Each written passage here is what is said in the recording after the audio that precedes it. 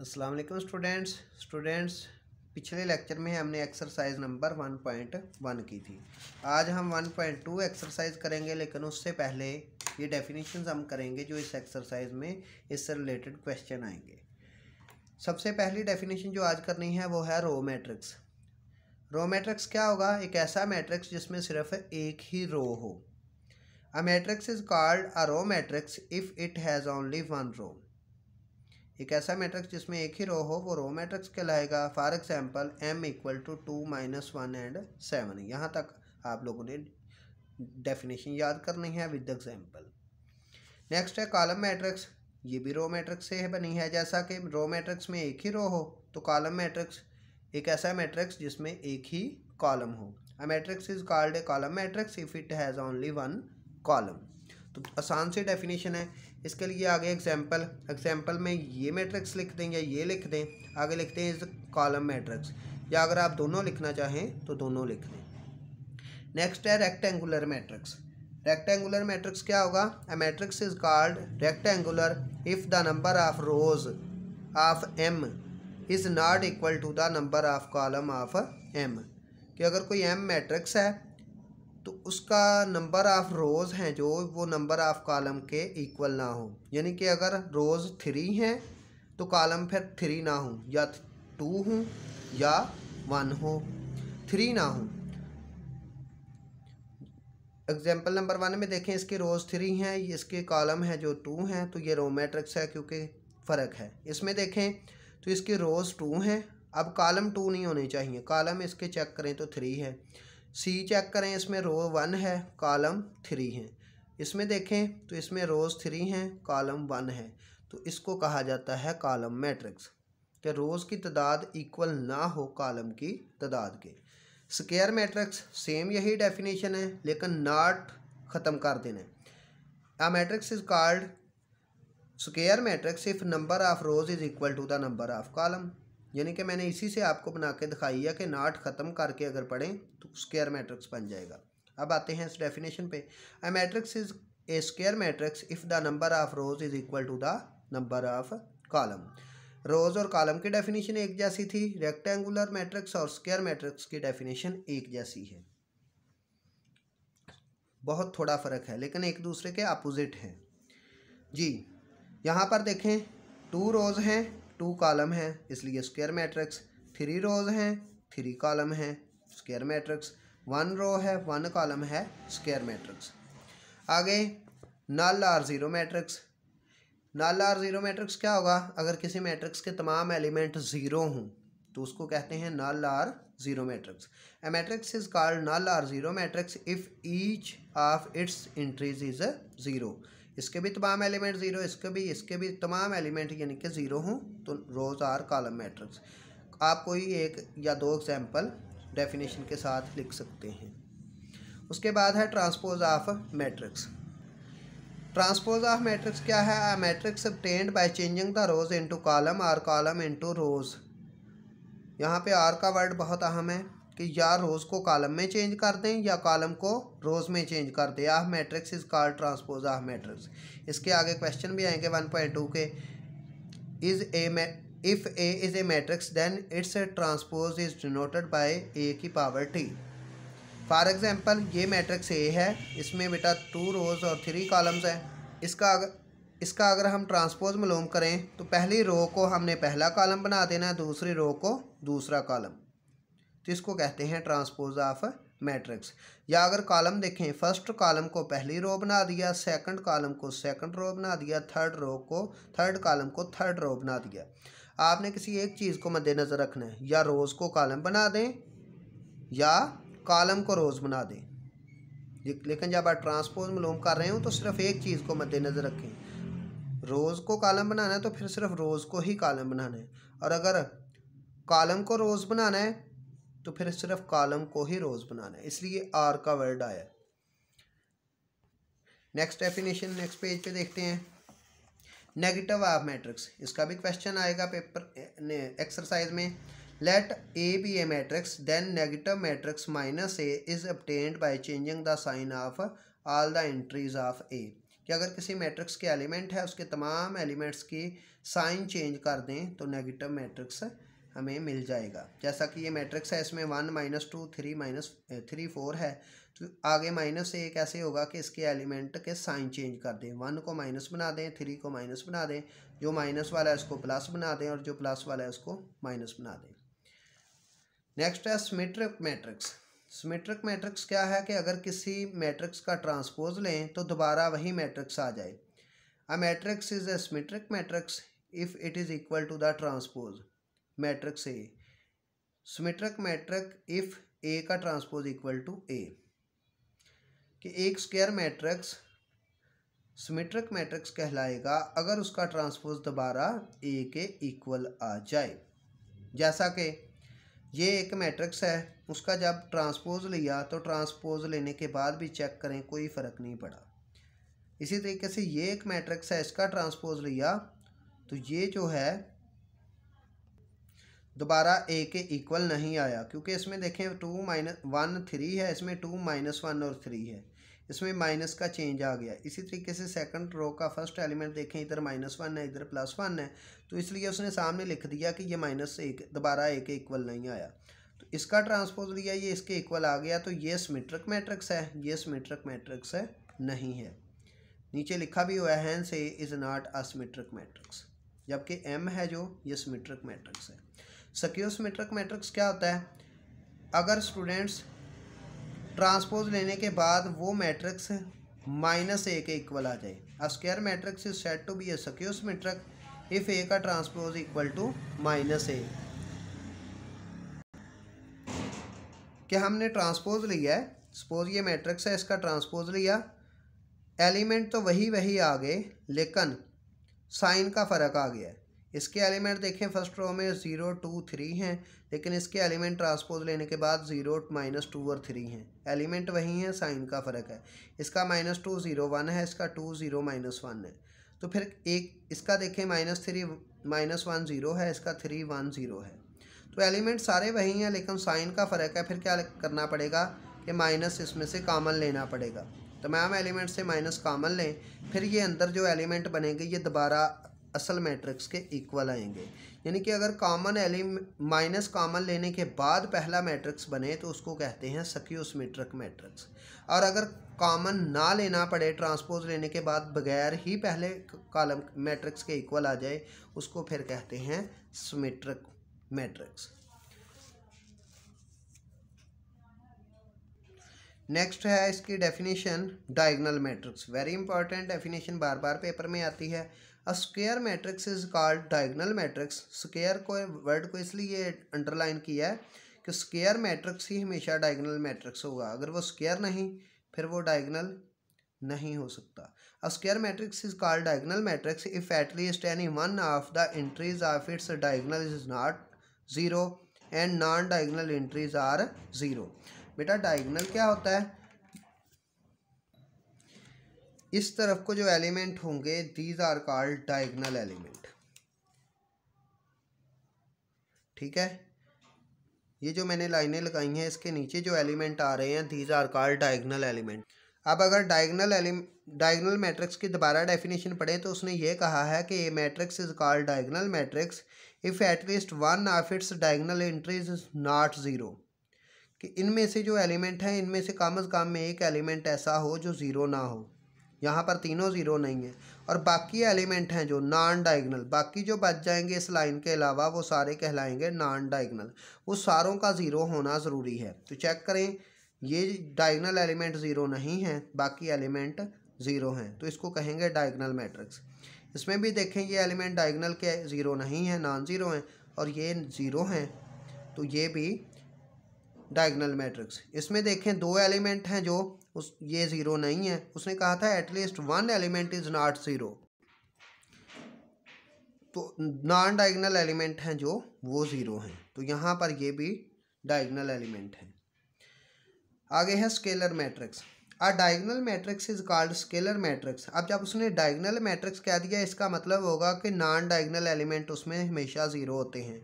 A diagonal matrix is called scalar matrix if the diagonal entries are same तो जैसा कि मैंने कहा, उसने नॉन डायगनल का अब यहाँ पे ज़िक्र ही नहीं किया, नॉन डायगनल एंट्रीज का, क्योंकि उसने डायगनल मैट्रिक्स जब कहा तो डायगनल मैट्रिक्स जैसे ही कहे तो इसका मतलब फ़ौरन जहन में आ जाए कि इसमें नॉन डायगनल एंट्रीज ज़ीरो होंगी। लेकिन शर्त साथ ये लगा दी है कि diagonal entries are same and non zero for example K K K where K is constant and not be equal to zero and one यानी कि साथ शर्त ये लगा दी कि ये जो डायगनल की एलिमेंट हैं, ये इक्वल हों, लेकिन वो ज़ीरो ना हो और वन ना हो। अगर वो डायगनल के एलिमेंट ज़ीरो हों तो मैं आपसे क्वेश्चन छोड़ के जा रहा हूँ, क्यों उसने शर्त लगाई है ज़ीरो ना हो? ठीक है, आपने बताना है अगर वो ज़ीरो हो जाए, फिर इस मैट्रिक्स का नाम क्या होगा? लेकिन अगर वन वन भी कहे ना हो तो वन ना वन क्यों ना हो? बेटा, इसकी आगे डेफिनेशन आ रही है कि अगर यहाँ पे वन वन डायगनल के एलिमेंट हों तो इस मैट्रिक्स का नाम होता है आइडेंटिटी मैट्रिक्स तो इसलिए उसने ये दो कहा है ज़ीरो ना हो ज़ीरो ना हो तो आपने बताना है कि फिर मैट्रिक्स का नाम क्या होगा, आप कमेंट में बता सकते हैं। और अगर वन हो तो उसका नाम होगा आइडेंटिटी मैट्रिक्स फॉर एग्ज़ाम्पल ये देखें टू टू एलिमेंट हैं सारे तो ये कहलाएगा स्केलर मैट्रिक्स। ये थ्री थ्री एक जैसे एलिमेंट हैं, स्केलर मैट्रिक्स। और ये डायगनल का एलिमेंट अकेला फाइव है तो ये भी स्केलर मैट्रिक्स। आगे चलते हैं आइडेंटिटी मैट्रिक्स अ डायगनल मैट्रिक्स ये भी डायगनल मैट्रिक्स है। इसमें भी वो नॉन डायगनल एलिमेंट की वजाहत नहीं करेगा। नॉन डायगनल मस्ट भी zero is called identity or unit matrix इसके दो नाम होते हैं, या आइडेंटिटी या unit matrix if all the diagonal entries are zero जैसा कि आपको स्केलर मैट्रिक्स में कहा था कि अगर यहाँ पे डायगनल के एलिमेंट वन वन आ जाएँ तो इसको कहते हैं ये आइडेंटिटी मैट्रिक्स ये चेक करें वन वन है, और ये भी, मैंने खुद से एक लिखा है कि इसके एलिमेंट भी वन वन है। इसका ऑर्डर थ्री बाई थ्री है। इसका order one two by two है। तो ये दोनों कहलाएँगे आइडेंटिटी मैट्रिक्स। अब आते हैं एक्सरसाइज में। Exercise number one point two, इसका पहला क्वेश्चन है, from the following matrix identify the unit matrix, row matrix and the column matrix of and the null matrix ये बुक पे ही हल हो जाना है। पहला देखें तो इसके तमाम एलिमेंट हैं जो ये ज़ीरो ज़ीरो हैं तो हम कहेंगे ये नल मैट्रिक्स है। दूसरा देखें तो इसकी एक ही रो है तो ये क्या होगा? रो मैट्रिक्स तीसरा देखें, एक ही कॉलम है तो ये होगा column matrix column matrix next देखें तो इसके दोनों डायगनल के एलिमेंट वन वन है, इसलिए ये यूनिट मैट्रिक्स इसके तमाम एलिमेंट ज़ीरो हैं, इसलिए नल मैट्रिक्स या ज़ीरो मैट्रिक्स और इसके देखें, एक ही कॉलम है तो हम इसको भी कह देंगे कॉलम मैट्रिक्स जैसे ये कॉलम मैट्रिक्स है, वैसे ही ये कॉलम मैट्रिक्स है। क्वेश्चन नंबर टू देखें। From the following matrix identify square matrix row matrix identity matrix rectangular column या नल तो डेफिनेशन आपने पढ़ी हुई हैं। सबसे पहले देखें, ये रेक्टेंगुलर मैट्रिक्स है। इसके सामने लिख दें रेक्टेंगुलर मैट्रिक्स सेकंड वाला देखें तो इसकी एक ही कॉलम, इसका एक ही कॉलम है तो ये कॉलम मैट्रिक्स। Column matrix. इसके एलिमेंट हैं जो number of rows number of column के इक्वल हैं टू बाई टू तो ये स्क्वायर मैट्रिक्स ये क्या होगा? स्क्वायर मैट्रिक्स नेक्स्ट देखें तो ये इसके एलिमेंट हैं जो ये वन वन है और स्केयर मैट्रिक्स है तो ये होगा आइडेंटिटी मैट्रिक्स या यूनिट मैट्रिक्स। दो नाम थे, यूनिट मैट्रिक्स या आइडेंटिटी मैट्रिक्स। इसका देखें number of rows number of column के इक्वल नहीं है तो रेक्टेंगुलर मैट्रिक्स इसका देखें तो ये रो मैट्रिक्स है। इस, ये देखें तो कॉलम मैट्रिक्स है, ये देखें तो स्केयर मैट्रिक्स है three rows by three column और ये वाला देखें तो नल मैट्रिक्स है। तो ये बाकी आपने बुक पर खुद ही लिख लेना from the following matrix identify the diagonal scalar and unit matrix अब इनमें से देखना कौन सा डायगनल मैट्रिक्स है, कौन सा आइडेंटिटी है। Identify diagonal scalar and unit matrix सबसे पहले देखें तो ये दोनों एलिमेंट इक्वल हैं तो इट मीन्स ये स्केलर होगा। अगर डायगनल एलिमेंट इक्वल हूँ तो ये स्केलर मैट्रिक्स होगा। डायगनल एलिमेंट डिफरेंट हैं तो ये डायगनल होगा। ये डायगनल होगा। उसके बाद तीसरा, ये एलिमेंट वन वन है तो यूनिट मैट्रिक्स होगा, या इसका दूसरा नाम हमने पढ़ा था, आइडेंटिटी मैट्रिक्स।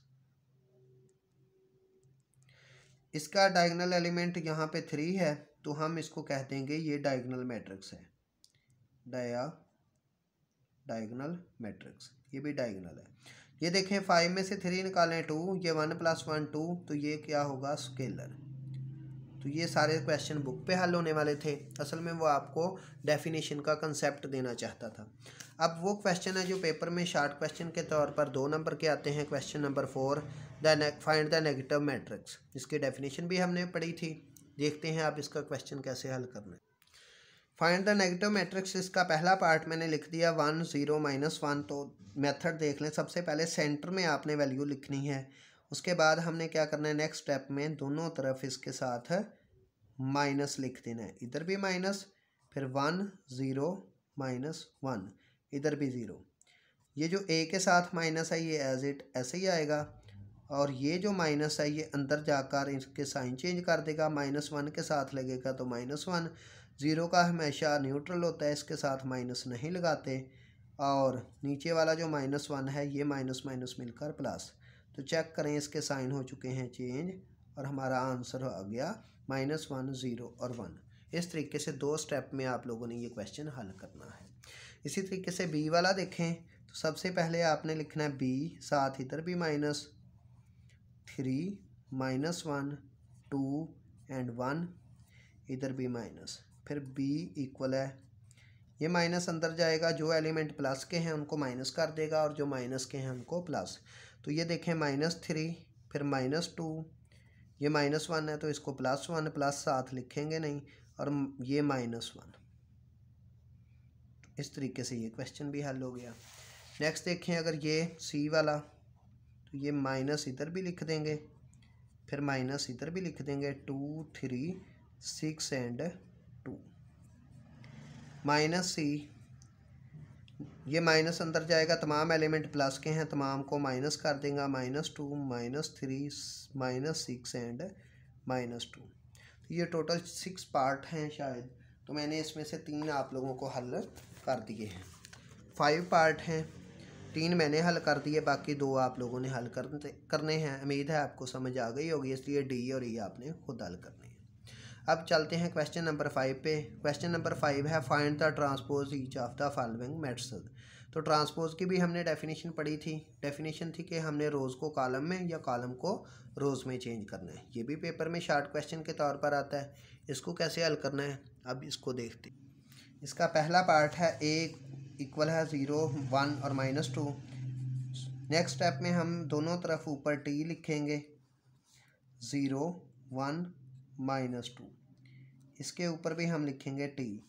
टी लिखने का मतलब है कि अभी इसका ट्रांसपोज हमने लेना है। ए की पावर टी, यानी कि ए के ऊपर टी। अब ये एक कॉलम है, इसको हम रो की शक्ल में लिख देंगे। कॉलम को हम क्या बनाने लगे हैं? रो। तो ज़ीरो, वन, टू। ऊपर से अब टी है जो ट्रांसपोज का साइन था, उसको कर देना है, ख़त्म। तो ये दो स्टेप का क्वेश्चन जैसा कि नेगेटिव मैट्रिक्स में था, ये आपकी वैल्यू थी। आगे दो स्टेप में इसको हल कर दिया। नेक्स्ट पार्ट देखते हैं। इसका सेकंड पार्ट देखें तो बी वन और माइनस सिक्स है। हम उसी तरीके से दोनों तरफ़ नेक्स्ट स्टेप में लिखेंगे।